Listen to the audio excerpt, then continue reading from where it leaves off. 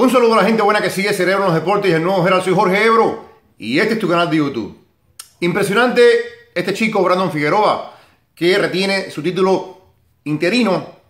A mí no me gustan estas cosas de títulos interinos, ni, ni super no sé qué, ni franquicias, pero bueno, lo que indica el título interino para este chico, en el caso de la AMB, es que está muy cerca de pelear por un título del mundo.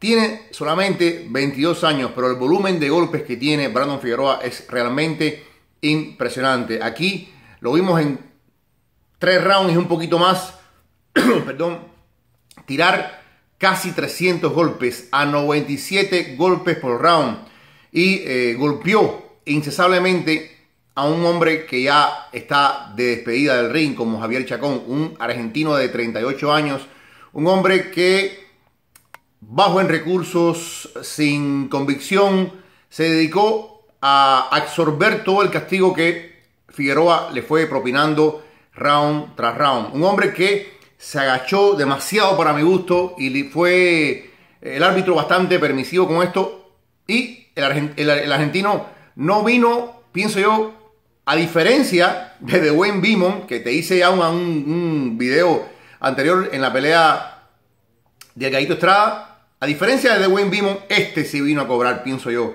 Porque 38 años, ya, ¿a qué puede aspirar un hombre como Javier Chacón, que ya vio pasar sus mejores momentos ante este joven león mexicano como Brandon Figueroa?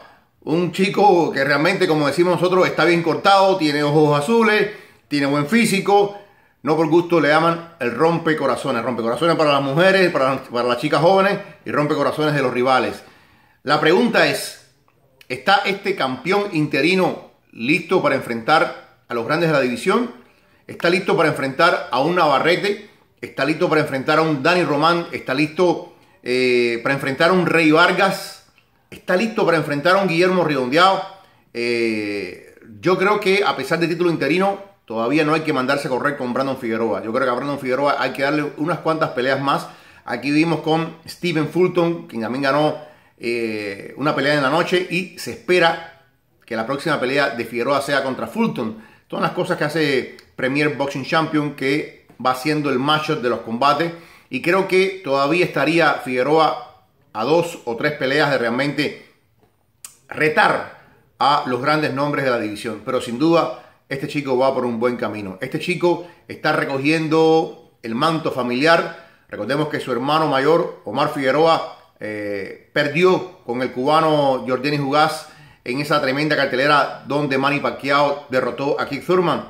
Y evidentemente Omar Figueroa no fue bien preparado, más allá del talento y la calidad del cubano. En el caso de Brandon, parece que sí se entrega por completo al gimnasio. Es un chico que es fuerte, es un chico que me pregunto yo por la altura que tiene, cuánto más va a poder aguantar el peso en las 122 libras. Yo creo que más temprano que tarde lo vamos a ver en peso pluma, en 126 libras, porque eh, va a seguir creciendo. A los 21, 22 años todavía el cuerpo no está terminado de formar, los músculos no están, terminados de, redondearse, de ser rotundo. Y creo que eh, lo que tiene Brandon Figueroa es increíble en el horizonte. El techo no existe para Brandon Figueroa si él continúa creciendo de forma inteligente, si la gente en PBC lo, lo sigue llegando de forma inteligente cuando digo esto no es que le pongan un grupo de muertos delante de sí. Yo creo que le vayan poniendo rivales de consideración poco a poco hasta llegar a los campeones de esta división. Pero sin duda alguna, Brandon Figueroa sigue impresionando, sigue creciendo y sigue ganando legiones de admiradores y sobre todo de admiradoras. Vamos a ver qué le depara la vida al Benjamín de la familia Figueroa, pero lo que vemos de él es muy promisorio y le deseamos mucha suerte, mucho éxito a este guerrero. Tremenda velada de Premier Boxing Champion, tremenda velada también desde México de Hermosillo, tremenda velada desde Rusia. ¿eh? Triunfo de Sergei Kovalev, triunfo de Brandon Figueroa y triunfo de Juan Francisco el Gallito Estrada. Si todos los sábados fueran así de boxeo, fuéramos los hombres más felices de la tierra. Soy Jorge Ebro. Para Cerebro en los Deportes sigue conmigo, porque siempre traigo lo último aquí en tu casita de YouTube, que es mi casa, donde está lo más grande, con lo más grande.